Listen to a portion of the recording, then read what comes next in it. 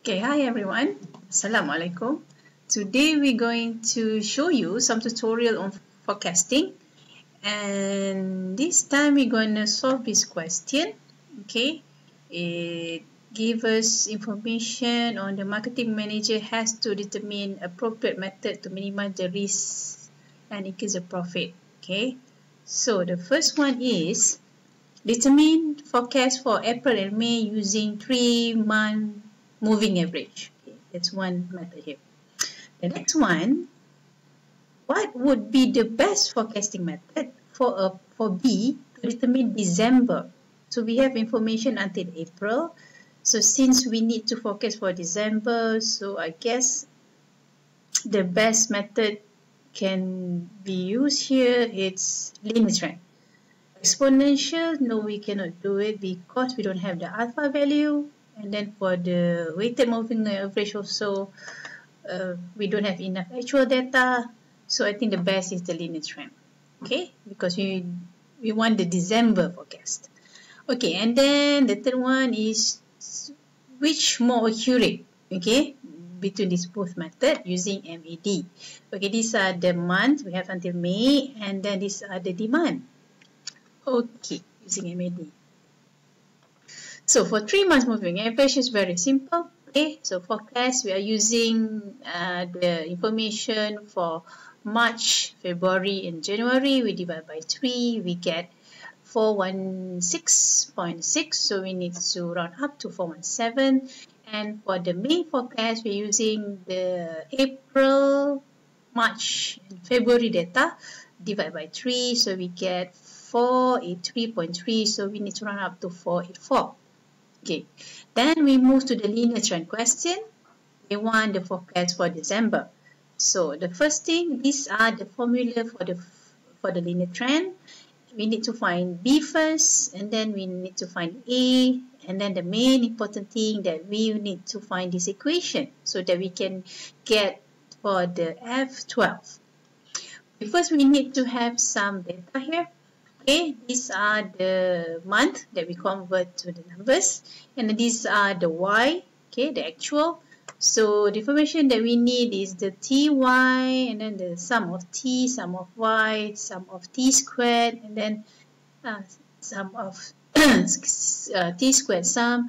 So we need to prep all the data here. Okay, so we have sum of t here, sum of y, okay, sum of t squared, sum of ty and then one more we need the sum of t square.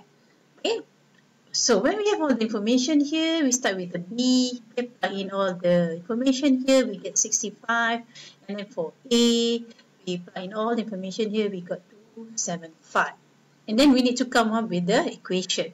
For the equation, we have A is 275 plus B is 65T.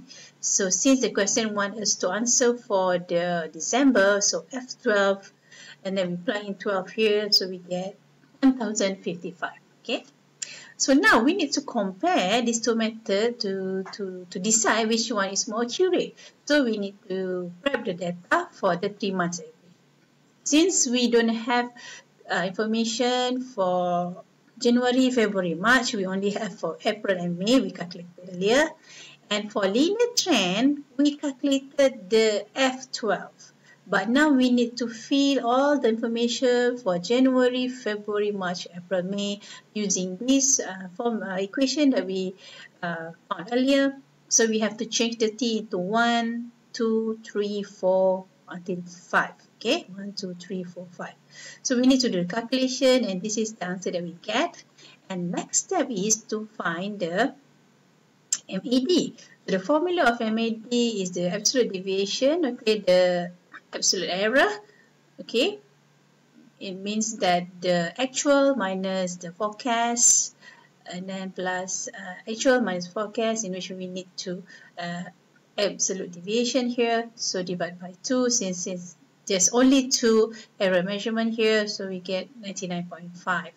Okay, for the linear trend, since we have the data since January, so we have like 1, 2, 3, 4, 5. 5 uh, absolute deviation, okay, uh, for the error.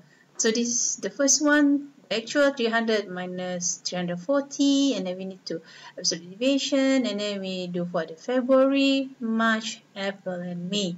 Since they have 5 uh, error data so we need to divide by 5 so we get 30. Now for the MAD to consider to be accurate we need to make sure it is the minimum okay so for this case we found out that the most accurate is the linear trend, okay, the B method, in which they have the smallest MAD. So that's uh, all for today. So we are comparing uh, two type of forecast method. The first one is the moving average, and the second one is in the trend. Then we need to uh, to compare using the MAD to come up with the most accurate method. So I hope you understand. Okay, thank you. I will see you again.